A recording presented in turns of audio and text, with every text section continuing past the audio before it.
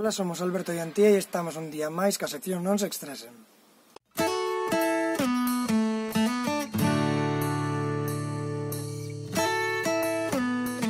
Bueno, hoxe cambiamos de escenario, como podedes ver, estamos grabando na Canicouba, un puebliño do que nadie casi sabe que existe, pero bueno. Eh, esta semana vamos a cambiar de tema, xa deixamos o tema da diversidade e vamos a empezar a falar Hoxe sobre un tema que nos interesa bastante, sobre todo a min como historiador, que é a histeria. Vamos a facer unha introdución ahora ca historia da histeria, e o primeiro en falar dela foi o teórico pai da medicina, Hipócrates, ali polo século V na antiga Grecia, que decía que as mulleres, mulleres tiñen un problema xinecolóxico polo cal, o útero se, se lles movía polo corpo e acababa nos peitos e o tío non, non viña sabendo moi ben por qué. E había por ali un filósofo, Platón, pouco machista, o chaval, moi majo el tío, que viña dicindo que eso era por falta de relacións sexuales, que isto se curaba cun buen matrimonio.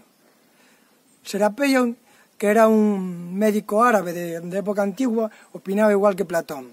Na, casándose se solucionan todos os problemas deste universo. Ante a época moderna e medieval aparecen novas teorías.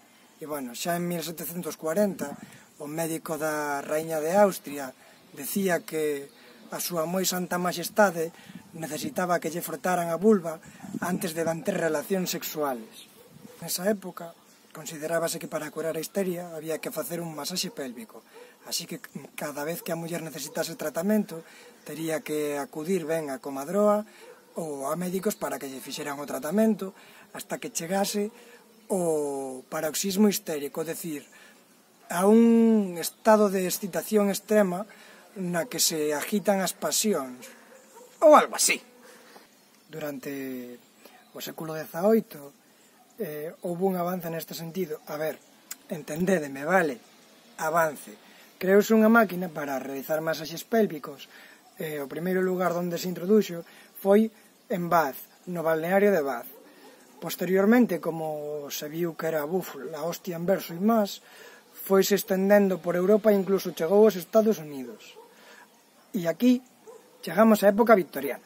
Curioso da histeria é que realmente non foi catalogada como, como enfermidade hasta mediados do século XIX, concretamente, como acabo de decirvos, na época vitoriana.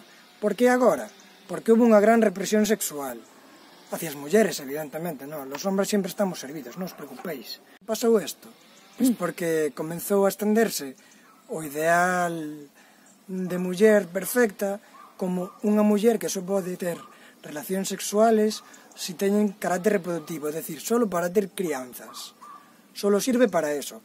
A partir de aquí, houve un gran aumento das, das mulleres que acudían ás consultas de médicos e comadronas a polos masaxes pélvicos e resulta que en 1859 un médico asustado polo número de pacientes que recibía decidiu que iso era unha enfermedade e ela é malirma e se chamaba histeria.